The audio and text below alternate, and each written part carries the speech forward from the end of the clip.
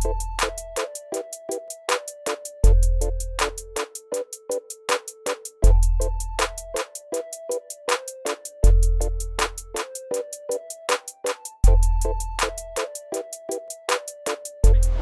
we're going to be talking about uh, some other species we're doing, specifically the wolf herring. Some guys know them as silkies. Uh, pretty much, if you want to picture it, a long elongated type fish, kind of a crossover between a very long sardine and a walla walla. That's kind of the best way to get it. They're very sort of that sort of shape, very similar to a walla walla, long, sort of thin, but an actual fish. So not that fin that runs all the way along the top. Fish shape with fin at the back and some really gnarly sort of unkept teeth sitting in the front.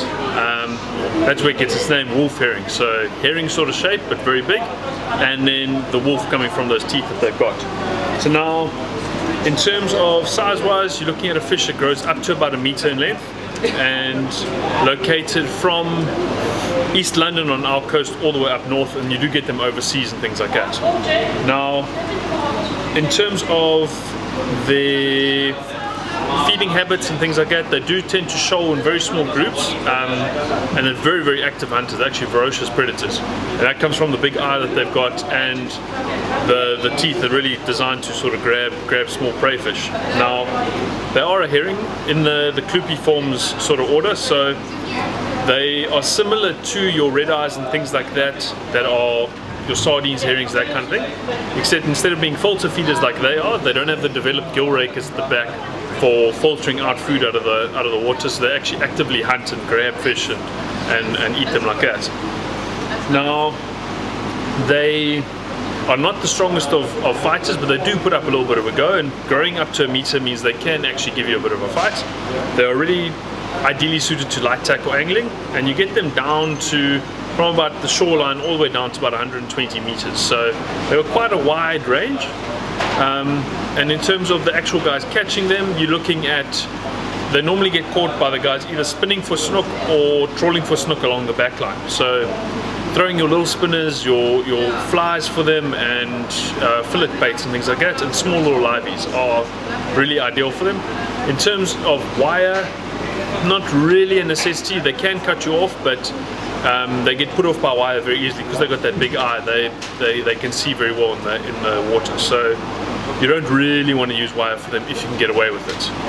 Uh, eating wise, not really a fish worth eating. They poor quality flesh. It's not really. They don't have also a lot of meat in them. It's more the guys that do eat them either salt them or, or deep fry them. So it kind of tells you it's not a fish that's got a good good quality meat.